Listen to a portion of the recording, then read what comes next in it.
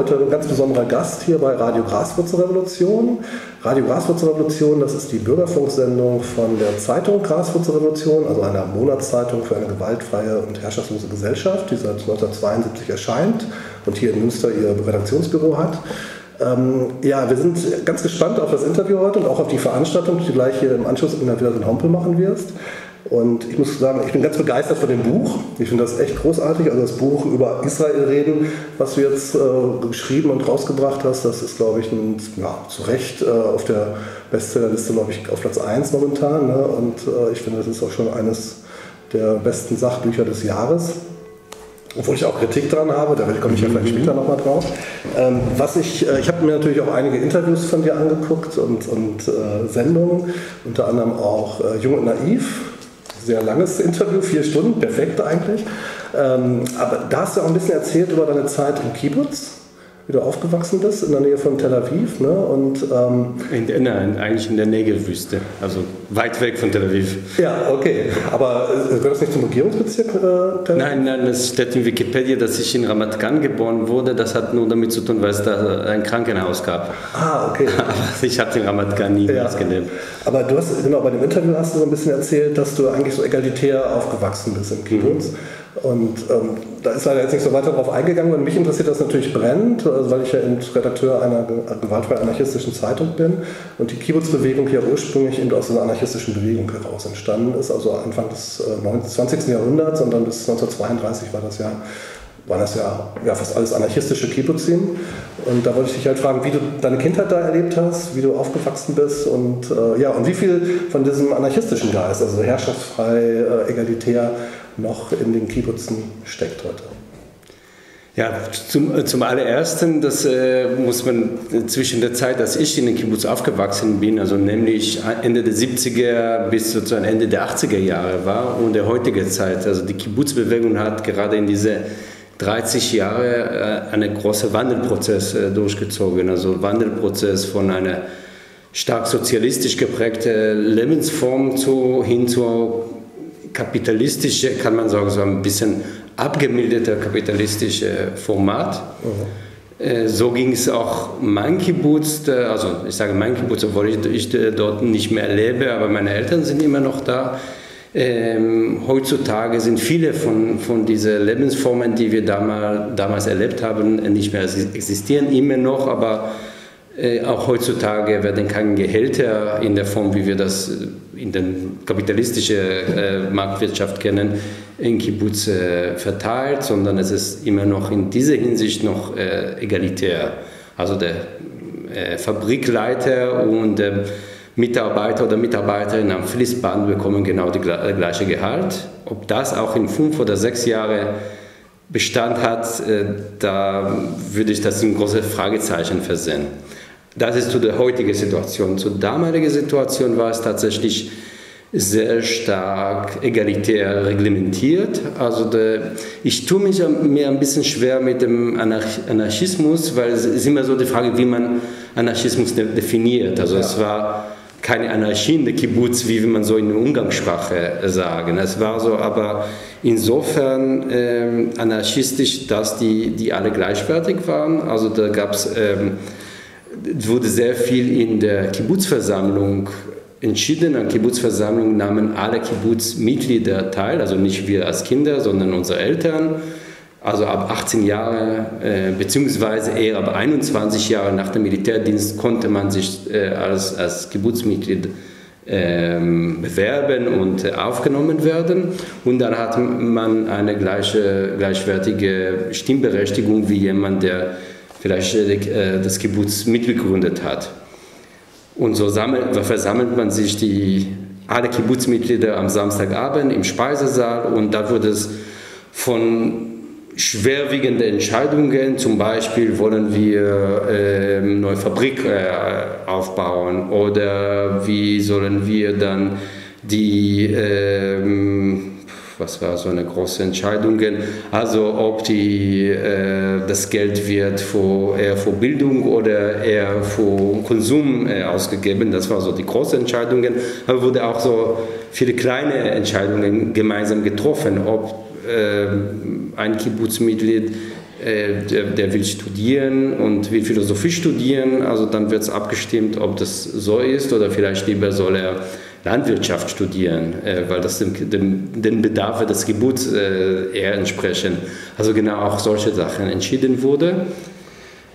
Über das hinaus war, also gerade was mich betroffen hat, war die, also die Kibbutz-Erziehung. Also wir sind in, also praktisch die, die, die klassische Familie wurde nicht abgeschafft. Also natürlich jeder wusste, wer Mama und Papa sind, wer sind die Geschwister. Man hat sich auch jeden Tag getroffen. Das war aber in relativ kurzer Zeit, also von 16 Uhr bis 19.30 Uhr. Äh, und die restliche Zeit hat man in der, mit den Gleichaltrigen in der, in der Peer Group verbracht. Nämlich, äh, wir hatten so die Kinderhäuser, also das, äh, das begann wirklich mit sehr früh an wo man also auch, auch Babys, die in den Kinderhäusern oder Baby, Babyhäusern da geschlafen haben, die, die Mutter sind ähm, in bestimmte Zeiten gekommen, um zu, zu stillen.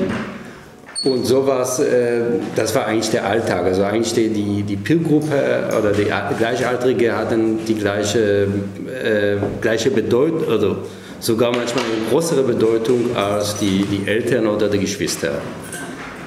Ähm, ja, so das skizziert. Und vielleicht noch das letzte Aspekt war die Arbeit, immer ein ganz wichtiger Teil unserer, unser Alltag, also da hat die, die, körperliche Arbeit hat einen sehr hohen Stellungswert. Also man wurde weniger nach äh, geistige, äh, intellektuelle Fähigkeiten, sondern wenn jemand loben wollte, äh, dann hätte es sagen, ja, er ist ein, ein fleißiger, fleißiger Arbeiter und wenn jemand wiederum äh, schlecht machen will, dann ist er ein Faulenzer. Das war das Schlimmste überhaupt. Und wir sind von, wirklich von früh auf äh, in diese, diese Arbeitswelt, heute würde man sagen Kinderarbeit, aber es war überhaupt nicht negativ konnotiert. Also was, äh, man begann irgendwie ganz früh, also schon in der ersten, zweiten Klasse, in, in so eine kleine Kinderzoo die zu pflegen, aber sehr schnell äh, integriert in den normalen Arbeitsbereich in Kibbutz, wo man irgendwie am Anfang nur nach der Schule zwei, drei, vier Stunden da arbeitet und dann später hat, haben wir ähm, fünf Tage Schule und einen Tag Arbeitstag, wo wir ganz normal mit den Erwachsenen auf dem Feld gearbeitet haben, auf der Plantage, mit den Hühner, in der Hühnerstall oder mit den Kunden. Also das, das war ein ganz wichtiger Aspekt. Ja, und ich meine jetzt die aktuelle Situation in Israel ist ja, äh, würde ich mal sagen, schon sehr krass. Was, wir haben auf der einen Seite natürlich große Massenbewegung, die jetzt auf der Straße ist, also auch 150.000 Leute, die gegen die rechtsextreme Regierung demonstrieren.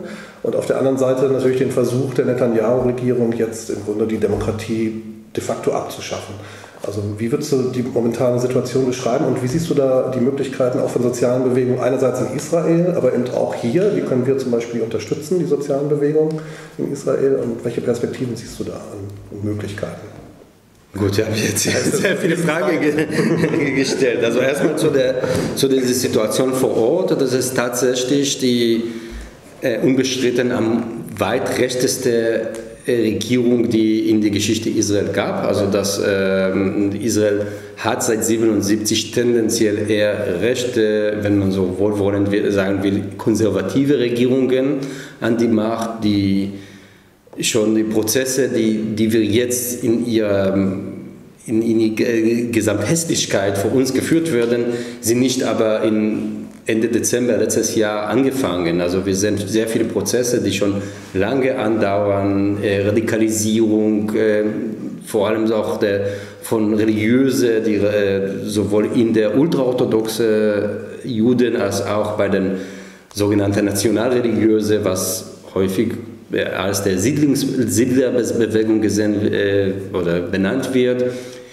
Diese Bevölkerungsgruppen, die tendenziell immer größer werden, aus dem einfachen Grund, dass sie einfach sehr viele Kinder haben. Also wir reden von knapp acht Kindern pro Familie und nicht acht seit gestern, sondern seit der Gründung des Staates. Und das äh, sind, dass diese Bevölkerungsgruppe immer mehr nach rechts abgerückt haben und immer jetzt stehen sie ganz, ganz weit weg äh, in der rechten politische Spektrum. Und die werden äh, gerade die, die Siedlungsbewegung, die seit, ähm, seit den 80er und 90er Jahren immer größer wurde, sie drängen auch in äh, verschiedene äh, Machtzentren in Israel, in der Militär, in der Verwaltung, natürlich in der Politik. Oh. Und die Früchte dieser, dieser Entwicklung äh, sind äh, jetzt zu, äh, ganz deutlich zu sehen. Also wenn man jetzt der die erste Regierung Israel unter David Ben-Gurion, da gab es äh, in dem Gesamtkabinett zwei Minister, die Kippa getragen haben, also konnte man so gemäßigte Religio religiös waren, eine ganz andere Art von Religiosität, die wir heute äh, empfinden.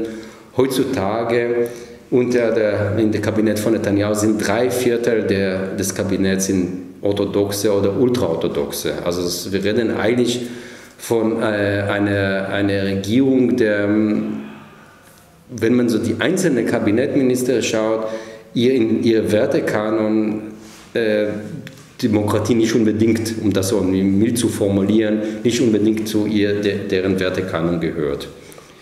Äh, und sie haben gefragt, wie, wie geht man damit um? Also ich meine, das ist immer so die Frage, wie man zu Israel steht. Also wenn man, also ich meine auch kann man auch gleichgültig sein. Also ich meine, das gehört zu unserer Realität. Ich bin ich bedauere sehr, was äh, in Südsudan passiert oder in Nagorno-Karabach oder in viele elende Teile dieser, dieser Globus und äh, ich muss zu meiner Schande gestehen, dass ich so gut wie nichts tue, um den, den Menschen dort zu helfen. Also von daher, es gibt kein Imperativ, man muss Israel unterstützen oder man muss die Demokratiebewegung in Israel Vorschub leisten. Oder, also es ist, äh, aber weil gerade in Deutschland diese Freundschaft zu Israel immer hochgehalten wird. Wir, wir reden seit 2008, seitdem Merkel da vor der Knesset gesprochen hat, dass Israels Sicherheit zu deutscher Staatsräson gehört.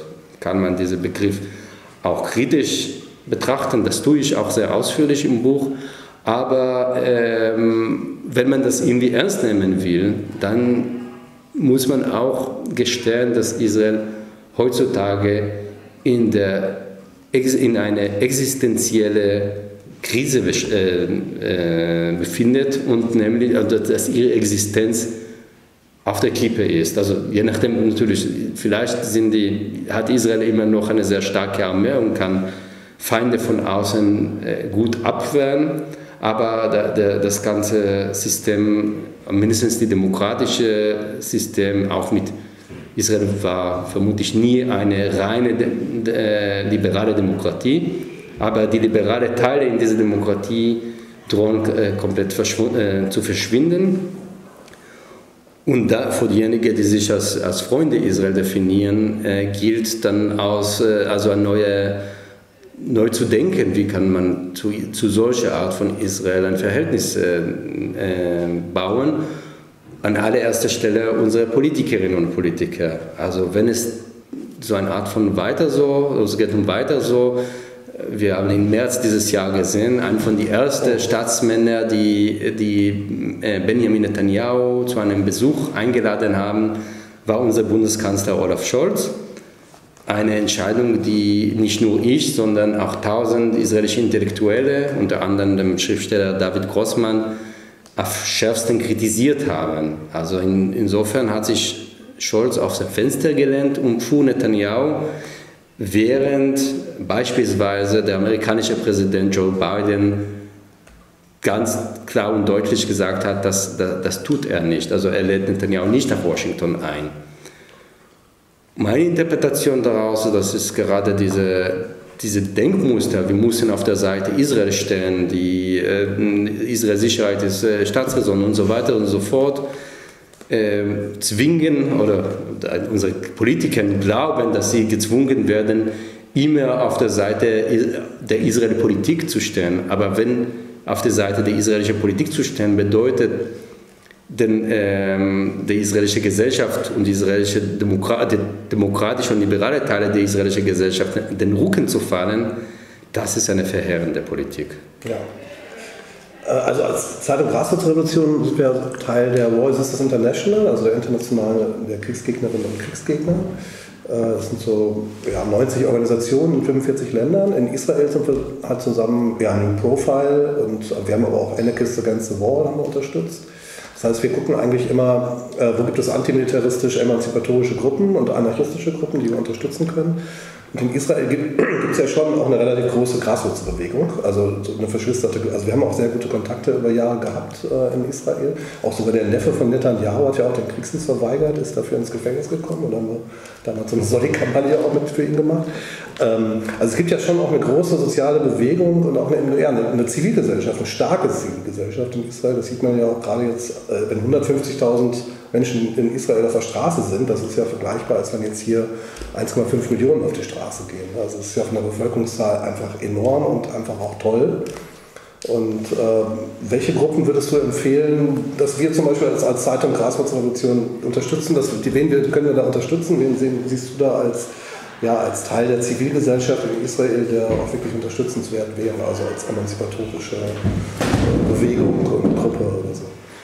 Also natürlich an allererster Stelle würde ich sagen, äh, gerade die, die Gruppen, die die Verbindung machen, also nicht nur für die, für die Demokratie und für die liberale Rechte innerhalb von Kernland Israel, sondern diejenigen, die auch darauf aufmerksam machen, dass die mehr, mehr als 55 Jahre andauernde Besatzung von, von der Westbank und die, äh, das Verhältnis zu, dem, äh, zu Gaza maßgeblich dafür beitragen, dass, dass Israel so weit gekommen ist, so weit nach unten gekommen ist. Oh. Äh, da, dieser Link ist äh, auch in die, diese große und wirklich sehr beeindruckende Protestbewegung noch relativ klein. Ich glaube, das ist ein, äh, das gerade ist es eine in Bewegung, also in, in viele Gespräche, die ich führe, im Land, äh, dann merke ich, dass, dass, eine, dass eine gewisse Perspektivwechsel langsam ansetzt.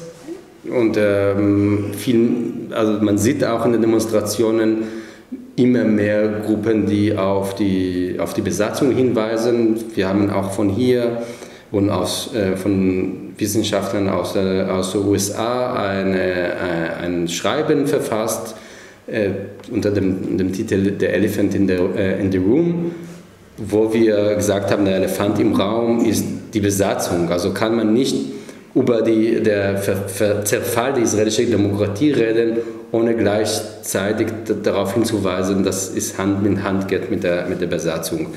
Und wenn man in den Proteste sieht, die, diese Slogan, die Besatzung besetzt uns, was diejenigen, die das sagen, meinen, dass gerade also einmal die, die Tatsache, dass, dass sehr viele junge Israelis äh, in die Rolle versetzt werden, ähm, andere Menschen zu besetzen, ähm, in, in, in, sehr viele ähm, subtile oder nicht subtile Formen der, der Gewalt und Unterdrückung. Auf, auf der anderen Seite, wir sehen auch, dass die, diese Siedlerbewegung, ich habe das schon vor kurz angerissen, so also immer hungriger wird. Also konnte man denken, okay, sie sind in den, in, also auf der anderen Seite der grünen Linie, also in den palästinensischen Gebieten, die haben dort äh, alle Privilegien, die kriegen sehr viel Geld und äh, die werden sozusagen den Kern an Israel in Ruhe lassen. Das ist nicht, mitnichten so, sondern sie wollen alles, was die daran hindert, die, die absolute Apartheid dort äh, umzusetzen, ähm, zu vernichten. An allererster Stelle ist das oberste Gericht. Also das oberste Gericht aus der Sicht der Siedler ist ein Hindernis, weitere palästinensische äh, Länder aus, äh, zu rauben, weitere Siedlungen, noch weitere, also es werden immer nur weitere Siedlungen, aber noch mehr. Also Hunger ist, äh, hat keine Grenzen. Und deswegen hat die, also die Speerspitze der, äh, der, der Pläne, der, die Demokratie auszuholen und die die Justiz abzubauen, äh, sind die, sind die Siedler. Also kurz gesagt, also ich, äh, ich denke, das muss man genau schauen, welche zivil, zivilgesellschaftliche Organisationen gleichermaßen die Rettung der israelischen Demokratie und die Forderung zu Ende der Besatzung auf der Fahne geschrieben haben. Und hast du da Gruppen, die du empfehlen kannst oder die du gut findest? Also ich meine, ja, ich habe jede Menge, aber es ist natürlich, äh, wenn ich jetzt fünf nenne, dann werde ich zehn, äh, zehn nicht benennen und das ist, äh, das ist gemein. Also wenn noch spezifischer, also ich, gut, ich komme aus der Pädagogik, das, da, da schlägt, schlägt mein Herz. Und vielleicht sage ich, wo, wo, ich meine Spende, ich meine, ich, so reich bin ich nicht, dass ich alle spende, die, äh, die ich unterstützen will, aber ich habe mir eine, eine Schule nicht weit von, äh, von meinem Geburtsort in der Wüste in der Stadt Beersheba, eine Grundschule, wo äh, gleichermaßen palästinensische und äh, jüdische Kinder da, ähm, da lernen die, in jeder Schulklasse gibt es immer eine arabisch sprechende und hebräisch sprechende Lehrkraft. Und ich kenne die, ich begleite diese Schule seit, äh, seit einigen Jahren. Ich finde die, die Schulleiterin ähm, eine, bewunder, ist eine bewunderwerte Frau. Und da kann man sagen, das ist nicht eine sehr politische brisante äh, Projekt, oder, aber das, das, das fängt so wirklich bei bei diesen Grundschulkindern an. Und das ist vielleicht auch für, das ist so, die, so die Geschichte, die ich mir erzähle. Ich denke, diese, wenn ich in die Schule laufe und ich sehe die, die Erstklässler, die gerade sechs sind, und ich denke, wenn, wenn sie in äh, zwölf Jahren äh, als 18-Jährige, der eine ist äh, als Soldat und der andere ist dann äh, auf der anderen Seite stehen, vielleicht werden sie anders handeln. Und deswegen ist es meine, mein Herz ist vor dieses Projekt. Ja, das hört sich doch gut an. ja, jetzt, also ich meine, du lebst ja seit 2001 in, in Deutschland, hast ja hier in, in München auch weiter studiert, bist jetzt Professor in Frankfurt und äh, Leiter des Anne Franken, der, äh, ähm, des Anne Frank Zentrums. Ne? Und ähm, ja, was mich interessieren würde, ich meine, was ja auch, was du im Buch ja auch wunderbar beschreibst eigentlich, ist so die, die die Politik der AfD. Also wir planen jetzt für die November nochmal einen Schwerpunkt zur AfD. Da wäre natürlich spannend, wenn du dazu ein bisschen deine Position äh, nochmal erklärst und auch wie du ja, die Politik der AfD siehst natürlich und auch ihr Verständnis von Antisemitismus. Und äh, das, ja, im Buch stellst du das ja raus, aber die Hörerinnen und Hörer haben das Buch sicherlich noch nicht alle gelesen. Wer es noch nicht gelesen hat, sollte es tun, über Israel reden von Meron Mendel in jedem guten Buchhandel, Buchladen zu finden. Genau, da wollte ich. Also die AfD in Israel, also ich meine, die AfD geniert sich als die treueste und die beste äh, Freundin, also die Partei, die am nächsten auf der Seite zu Israel steht. Beispielsweise die wissen die wenigsten, dass die erste, der erste Beschlussentwurf ähm, äh, zu, zu der äh, Ausschluss der BDS von der AfD kam. Also der, die AfD hat eine, einen Entwurf da gemacht und äh, wurde abgelehnt, aber dann sahen sich die andere Partei dann in der Pflicht, was, was, zu, was zu verfassen und so ist 2019 die, äh, die, die Resolution, der die BDS dann ausschließen will, eine Resolution, die ich auch, das kann man im Buch nachlesen, warum ich diese Resolution sehr kritisch betrachte. Äh, aber ist natürlich das interessant, dass sie einerseits ähm, angeblich total auf der Seite Israel äh, schlagen und aus welchem Grund? Also zum einen äh, klar, das ist äh, also das funktioniert wunderbar, also unter dem Motto mit Juden gegen Muslime. Also wir bekämpfen Antisemitismus, natürlich nicht, nicht die rechtsextremistische Antisemitismus, nicht der Antisemitismus, der am weitesten verbreitet ist unter der Wählerinnen und Wähler der, der AfD, sondern Antisemitismus ist immer bei den anderen zu finden, nämlich bei den Muslimen, bei den Arabern. Äh, und äh, das ist, das ist eine Schiene und das ist auch der, die Grundlage, dass die, wir sehen, dass immer mehr Kooperationen entstehen zwischen der, äh, der AfD und die Rechten in Israel. Äh, wenn man äh, 2020 der Sohn von Netanyahu, Yair Netanyahu, auf die Wahlplakaten der AfD gesehen hat, das ist kein Zufall, also es ist eine, eine laute BDS, äh, er ist eine laut, laute äh, AfD-Unterstützer und ähm, man sagt in Israel, wenn man wissen will, was wirklich der, Netanyahu, äh, der Vater Netanyahu denkt, muss man einfach lesen, was sein Sohn sagt. Und das ist auch der, der Fall. Also Netanyahu wird das nicht laut sagen, aber lässt seinen Sohn das, äh, das tun. Und äh, auch sieht man auch die Denkreisen, also der, es äh, in Israel vor einigen Monaten ein Buch von Eldad Beck erschienen. Eldad Beck ist der Korrespondenz der Hauszeitung von Netanyahu in Berlin. Ein Buch über die AfD, wo er, äh, wo er dafür plädiert, dass, dass die israelische Politik viele, also gerade die israelische Recht, äh, Rechte sollen sich hinwenden Richtung der AfD. Das ist der, sein, sein Vorschlag und er sagt, das sind unsere wahren Freunde.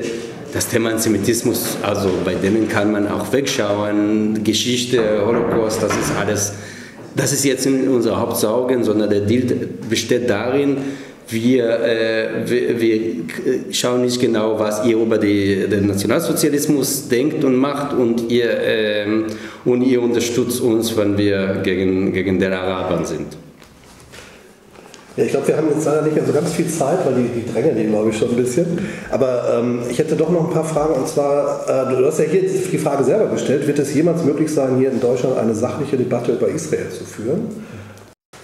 Also ich denke, ich hätte mir nicht, die Mühe gemacht, das Buch zu, äh, zu schreiben und äh, darüber auch mit sehr vielen Leuten zu sprechen, weil ich denke, es gibt auf jeden Fall äh, eine Möglichkeit, vernünftig zu sprechen. Das bedeutet nicht, dass, die, dass, wir, dass das bei allem wird, aber es, welche, welche Debatte wird ausschließlich vernünftig geführt. Also leider geht es in die andere Richtung generell. Äh, wo ich vor allem das Problem sehe, ist, äh, ist in, der, in der bundesdeutschen Politik. Da ist ähm, seit Merkel, äh, also seit Merkel die, die Eckpfeilen gesetzt hat, traut sich kaum jemand in der, in der Bundespolitik, das, das in Frage zu stellen oder das hinzu hinterfragen, was würde das bedeuten angesichts der Änderung in, den, in Israel.